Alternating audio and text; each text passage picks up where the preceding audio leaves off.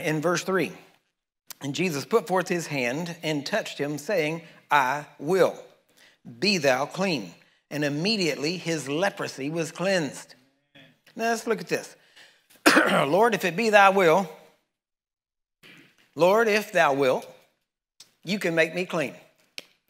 Eh, and like I said, that's where most people are. Lord, if it be thy will, then you can heal me. Lord, if it be thy will, you can take this cancer out of my body. Nobody that says that's going to get healed. Why? Because if it, if it was his will, it was his will before you ask him. If it was his will and he could do it, then he would have already done it based on how you're saying it. Does that make sense? So the fact is, you have to know his will, then, and then he tells, Jesus tells us to pray, Thy will be done on earth as it is in heaven. it's not necessarily a question. Do you get that? Thy will be done on earth as it, it's a command. Isn't that right? I mean, look at how it's written. thy will be done. That's a command. It's not, well, Lord, if thy will be done. Lord, if you want your will done. No, he didn't say that. He said, thy will be done on earth as it is in heaven. Amen. Right? so, now notice if his will is going to be done on earth, guess what your body is made out of according to Genesis? The dirt of this earth. Isn't that right? So if his will is going to be done on earth as it is in heaven, his will has to be done on your body. Amen? Because why? We go from dust to dust, ashes to ashes. Isn't that right? now, notice he says here, well, first off, I'm going, to, I'm going to hit these two things. Lord, if thou wilt, what did Jesus say? I will. Do you realize that forever answered the question if it's his will? See, here's the problem people make. They look at that and go, well, that was his will for that person. Okay, you just denied the Bible. You just said God's a respecter of persons. So God doesn't have a different will for every person. God doesn't have a different will for every person sitting in this audience today. He has the same will for everybody. Number one, it's his will that all should, that, that none should perish, but all should come to know Jesus Christ. Isn't that right? That all should be saved. So we know that's the will of God. then we also know that his will for us is that we be conformed to the image of Christ. Is that right? Now, if you're going to be conformed to the image of Christ, that means that what that doesn't mean. Okay, well, let me I'll tell you both. First off, that means you're going to look just like him in the spirit. When you got born again, you were recreated in his likeness and his image in the spirit, and in the spirit, you look just like him. Now, that means of the same essence. It does not mean that if you stepped out of your body, that you're going to look like Jesus looked, and we couldn't tell you the part from Jesus and you. You're still going to look like you.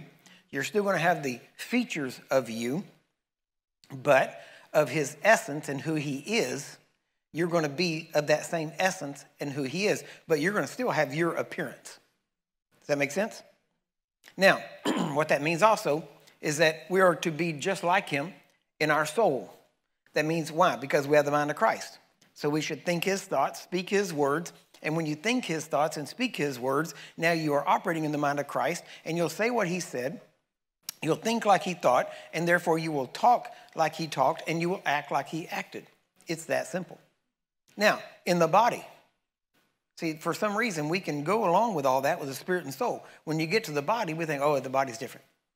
No, his, your body is important to Jesus. That's why he bore those stripes. See, he went to the cross for your spirit, he went to the whipping post for your body. That's why he said, present your bodies a living sacrifice. Isn't that right? Blameless, holy. Isn't that right? Now think about that. Your body is supposed to be blameless.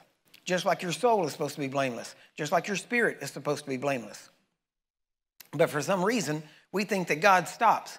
Part of that is because early on in the, not in the Christian church, but early on when Christianity was uh, becoming more established, there were groups that raised up that separated themselves and said, oh, the, the, the body doesn't matter. It's, it's, it's trash. It's no good. Because they talked about referring what the Bible says about the flesh. The flesh isn't about the body, the flesh is about your carnal soul. So he would talk about this, and they would separate themselves, and they would do things to themselves to discipline their body. And that's where a lot of things even came out of the Roman Catholic Church, where they would whip themselves. It didn't start with the Roman Catholics, it started with other groups that were non Christian. and they started beating themselves to punish themselves, and then they would say they're entering into the sufferings of Christ. No, he finished his work, and you can't pick it up and try to carry it on. The sufferings of Christ that you will suffer is persecution by doing and living godly in Christ. Amen? So, but your body is important to him. He expects your body to be blameless. And he expects us to be blameless, spirit, soul, and body, to be kept blameless until the coming of the Lord. So our bodies are supposed to be blameless before, meaning having no fault in it, all right? Which would preclude sickness or disease being in it. If you're going to be like Jesus, spirit, soul, and body, it does not mean that your body is going to metamorphose somehow to look like a, a 30, roughly 33 year old man, a Jewish man, walking around Jerusalem, right? That's not what's going to happen. You're going to look like him. You're going to be of his essence in your body, meaning, let's look at how Jesus was in his body. Was he sick? No. Then you shouldn't be either.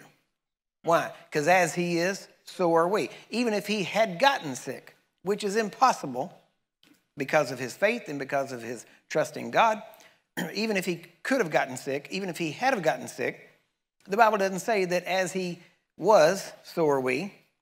It says as he is. Today, can Jesus get sick? Then neither should you. Do you understand that? That should, but before you can walk in that, you have to first believe it, see it, and agree and say, that's truth. And many times there will be a path of getting there, just like in anything else. Now, notice here Lord, if thou wilt, you can make me clean. He had no doubt about God's power, about Jesus' power working and God's power working through Jesus. He had no doubt about that. He said, if you want to, and that word, if many of you have been through the DHT, you've heard me talk about this word, because the word here, will, is a Greek word, ethelo, which literally means it is a intense desire out of your innermost being based on who you are and, your, and the nature and character of who you are. So when he said, if thou wilt, Jesus, if you really want to, if it's really in you to do this, you can make me clean. Now, that's where many Christians are today. And the funny thing is, back in Jesus' day, on, when he was walking in his flesh on this earth, he was, people said, oh, yeah, he can heal the sick. That's not a problem. Forgive sins? Oh, we can't do that. Now, now, we're getting into blasphemy. And now the church is completely upside down. And we believe that, oh, forgive sins? Of course, no problem. Well, I'll go tell anybody that their sins are forgiven and they can come to Jesus and, and Jesus has forgiven and all they got to do is accept it. I'll tell anybody that. Uh, but tell them that by his stripes they were healed? Well, we're not sure. Well, if you're not sure, then you don't believe the Bible or you hadn't studied it, hadn't read it, hadn't gone through it. So, but he said, if thou wilt, if you strongly desire based on who you are, you can make me clean. And then Jesus forever settled the question of his will concerning anyone's healing for anything. He also forever settled the Father's will concerning anyone's healing because he said, I will. Isn't that right? Right there in verse 3. Jesus put forth his hand, touched him, saying, I will. Be thou clean. Be thou clean. He didn't say, get clean. He didn't say get healed, he said be healed, right?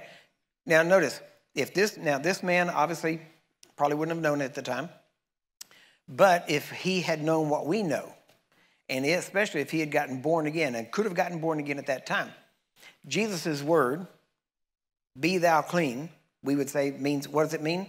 Be thou healed, same thing, isn't that right? So that, that means that that thing could never come back on that man again.